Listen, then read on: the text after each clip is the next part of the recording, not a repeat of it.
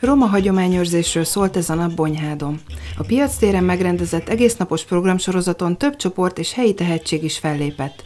A táncosok az autentikus roma kultúra alapján adták elő táncaikat. Nagyon örülök, hogy itt lehetek, és nagyon szeretem a cigánytáncot, mert már több éve is ezt csinálom. Szeretem. A tánccsoport vezetője elmondta, nagyon fontos, hogy megőrizzék ezáltal a kultúrájukat, a gyerekek tovább vigyék a hagyományokat. A nemzeti kultúrát tovább kell íveltetni a gyerekek körében.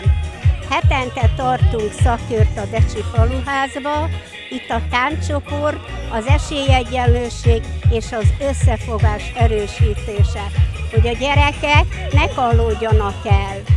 A mára már hagyományá vált frizura készítésnek is nagy sikere van mindig. A kisgyerekeinknek frizurát csináltatunk, ilyen kis újfajta frizurákat, három éves kortól egész 20 éves korig jönnek a lányok folyamatba, és ez egy kultúrá vált, hogy roma kisgyerekek így nézzenek ki. És mindenki készül, minden roma kisgyerek, hogy szépek legyenek.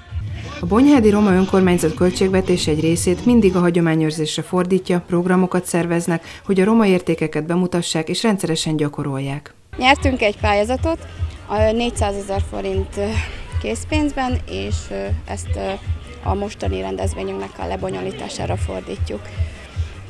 A mai programunkon három táncsoport vesz részt, ők nemzetiségi roma táncokat, autentikus roma táncokat adnak elő, illetve két helyi tehetség is megmutatja a tehetségét.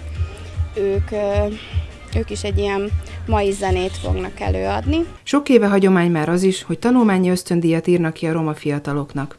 Idén nyolc diáknak sikerült ezt elnyerni, de rajzpályázatot is kiírtak, aminek nyerteseit különböző díjakkal jutalmazták a rendezvény első napján.